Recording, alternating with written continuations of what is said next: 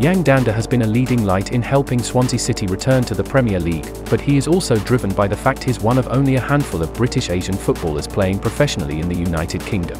Dhanda, whose father was born in England to Indian parents, says he's excited by the idea of breaking barriers and being a role model. But being a role model isn't easy. Following Swansea's FA Cup defeat to Manchester City on February 10, Dhanda was subjected to racist abuse on Instagram.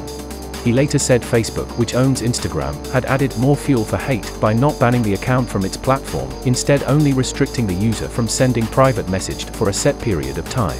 That's why receiving the abuse hurt me so much, because I'm so proud of where I come from, and so for individuals to try and abuse me because of that was quite sad, he said.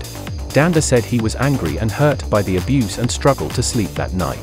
The 22-year-old believes Facebook chose not to ban the account for selfish reasons. They just want as many people as they can to be using their applications.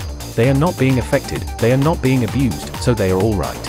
They are not overthinking about anything or about how they look or how they feel, and as long as they've got as many people as they can using their websites, then they are happy. In response Instagram said it doesn't want racism and hate on its platform.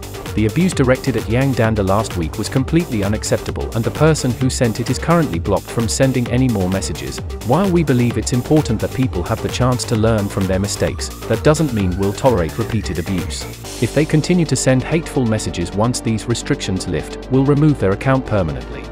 Dhanda says there is definitely not enough being done by social media companies and sport organizations to eradicate racism and address underrepresentation. We're in 2021 now and it's still happening, so obviously something is not right and enough is definitely not being done.